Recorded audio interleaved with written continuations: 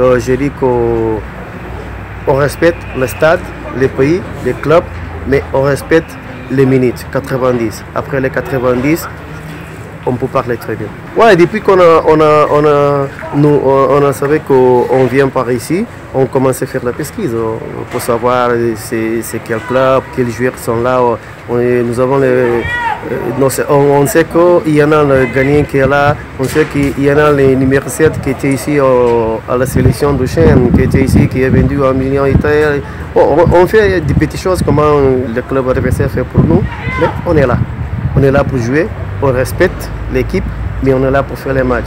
Les ballons parlent, c'est le, le, langage de ballon, c'est universel.